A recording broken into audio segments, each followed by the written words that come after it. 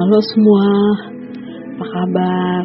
Semoga kita semua dalam lindungan kasih Tuhan Yesus Kristus. Amin. Saya punya teman, kenalan, saya anggap senior lah, namanya Teh Jurisar. Dia tinggal di Kortrik. Dia kalau bikin risoles enak. Saya sampai bilang gini, Teh, saya pengen diajarin risoles dong. Ajarin caranya. Nanti uh, saya mau bikin karena anak-anak senang risoles. Karena terus terang karena situasi nggak ada duit saya nggak mungkin beli risoles yang kadang satu bijinya satu euro gitu kan. Nggak mungkin jadi saya minta belajar. Saya ngomong personal ke dia teh ajarin. Terus dia dia baik. Dia bilang ya udah yo. Nanti saya ke Ostende kamu saya ajarin. Dan bener uh, dia datang ke Ostende dia datang waktu itu di rumah Kiki uh, saya datang juga saya udah nyiapin bahan-bahannya uh, dan luar biasa dia udah nyiapin juga bahan-bahannya. Jadi saya tinggal datang ngeliat apa yang dia bikin dan saya udah nyiapin video untuk bikin apa yang dia bikin.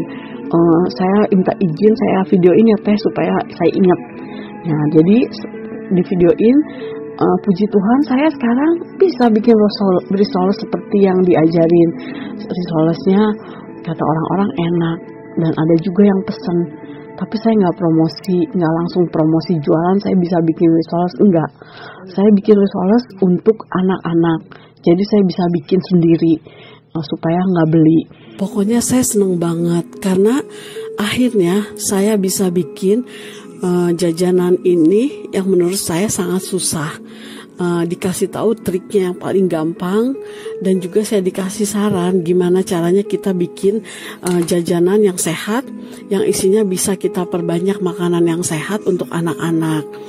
Teh sekali lagi dari hati yang paling dalam terima kasih banyak ya untuk semua uh, ilmunya Sa uh, waktunya waktu itu bisa mau datang ke Ostende jauh-jauh sampai malam uh, semoga Tuhan berkati Teteh dan keluarga. Tuhan ngasih selalu kesehatan buat Teteh supaya uh, bisa terus berkarya. Teteh bisa terus uh, mempromosikan budaya kita lewat masakan uh, daerah Indonesia di, di, di kota di negara Belgia ini.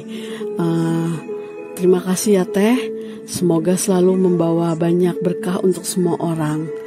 Uh, Sukses terus ya Teh. Nah.